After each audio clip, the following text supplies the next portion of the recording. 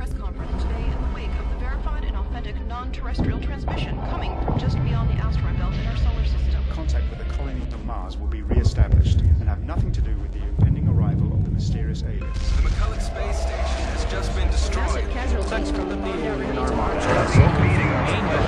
Then system soldiers destroy some of the gravitational flux in the Paris, This may indicate Reykjavik, and Tokyo head the list of recent and devastated cities. After the recall from what was once Malaysia. conflicting farewell speech as these brave soldiers took the fight to the Strogg's home planet.